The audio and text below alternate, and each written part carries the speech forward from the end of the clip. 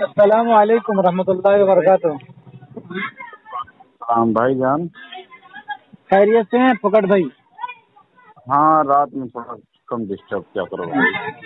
کہاں ڈسٹرب کر رہا ہوں پکڑ بھائی؟ چار پانچ دن میں ایک بار فون کرتا ہوں تو ڈسٹرب ہو جاتا آپ کو یار عجیب آپ انسان ہو۔ ہاں۔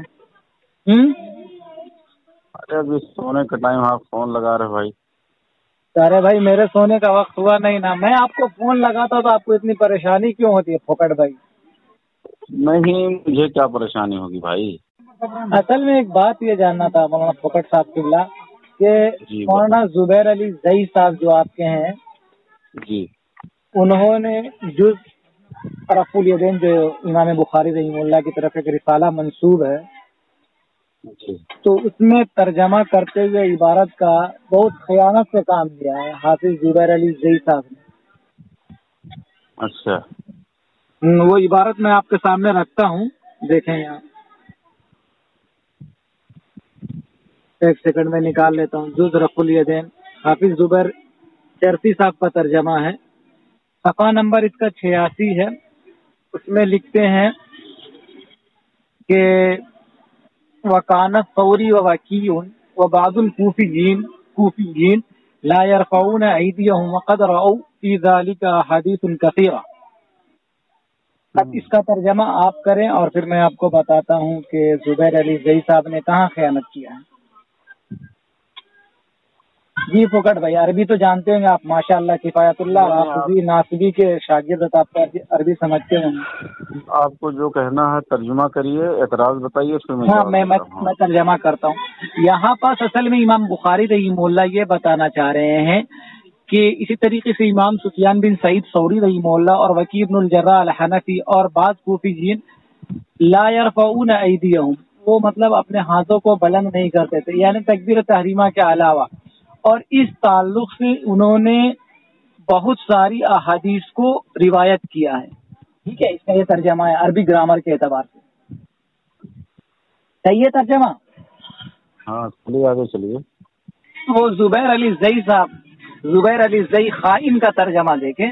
زبیر علی زئی صاحب خائن نے ترجمہ کیا ہے کہ سفیان فوری اور وکی اور بعض کوفی جین رفع دین نہیں کرتے تھے اور انہوں نے رف الیدین کے اس بات میں بہت ساری احادیث بیان کی۔ اتنا صحیح خیانت۔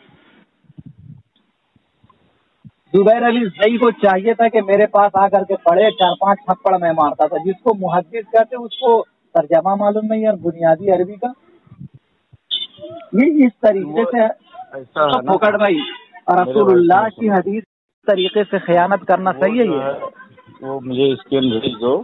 ابھی بیچتا ہوں ابھی ابھی ابھی فون کٹ کر کے بھاگنا مت میں گھر پر آ کر کے ماروں گا۔ نہیں نہیں سنو میری بات اسکین بھیج آپ ہمیشہ جب اسکین دیتا ہوں تو آپ بھاگ جاتے ہو فون کٹ کر کے۔ تعلق اس تعلق سے ہماری ارے بہت کم وقت انسان ہو تم یار پھوکٹ بھائی تم سے کیا امید کریں ہم؟ پھوکٹ خان۔ اسکین دے دو اس کے بعد میں کل فون کرتا ہوں آپ کو۔ لو؟ بک بک مت کرو میں نے اسکین بھیج دیا دیکھو اسکین۔ تو اس طریقے سے رسول اللہ کی حدیث میں خیانت کرنا یا جبکہ رسول اللہ نے ارشاد فرمایا من کذب علیہ متعمدا ٹھیک، مقعده۔ من النار. اب میں کل پھر بک بک مت کرو حدیث سنو۔ ہاں۔ حدیث سنو بک بک مت کرو حدیث سنو۔ رسول اللہ نے فرمایا جس نے مجھ پر جان بوجھ کر کے ہیلو ہلو۔ ہاں جی پھوکٹ بھیا فون کٹ کر کے بھاگ کیوں دیتے ہیں ابھی یہ یار امام بخاری کی جو عبارت ہے جی جی۔ وہ دیوبندی جیسے احمد لوگ تھوڑی نہ سمجھ پائیں گے۔ جی جی آپ سمجھ رہے تو آپ مجھے پڑھ کر کے بتائیں ماشاء اللہ بہت خوشی کی بات ہے کہ کوئی غیر مقلد کہہ رہا ہے کہ جی جی پڑھیں عبارت پڑھیں نا عبارت پڑھیں۔ پوری عبارت جو ہے آخر تک پڑھ لو اس کے بعد خود میں کیا کہہ رہا ہوں؟ کیا کہنا چاہ رہے ہیں۔ سنو میں میں عربی عبارت پڑھتا ہوں آپ ترجمہ کر کے بتاؤ کرو گے آپ؟ ایک ایک لفظ کا ترجمہ کرو۔ اگر اپنی ماں سے پیدا ہوئے کسی اور سے پیدا نہ تین طلاق کے بعد پیدا نہ ہوئے ایک ایک لفظ کا ترجمہ کرو عربی گرامر کا؟ اگر میرا ترجمہ غلط ہے میری گردن کاٹ دو۔ ترجمہ تمہارا بالکل غلط ہے اس لیے کہ آگے کا جو جملہ سنو میں کیا بولوں؟ سنو سنو آپ عربی آپ عربی آپ عربی گرامر پڑھے ہو نا ہاں۔ وقد او کا ترجمہ آپ کرے سیغے کی تعین کرے کون سا سیغہ ہے؟ ہاں۔ وقد رأو۔ ہاں۔ کون سا سیغا ہے؟ جب متکلم۔ کیا؟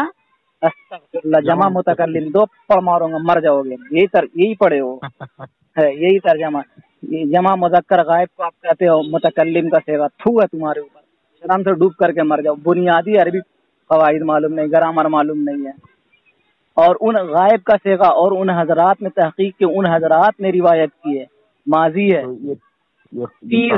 کا ترجمہ۔ ارے چل پھوکٹ ابھی تیری ابھی یوٹیوب پہ جائے گی آڈیو تیری اس کا ترجمہ کر فی ذالک فی ذالک کا ترجمہ کر۔ ہاں؟ فی ذالک کا ترجمہ کر۔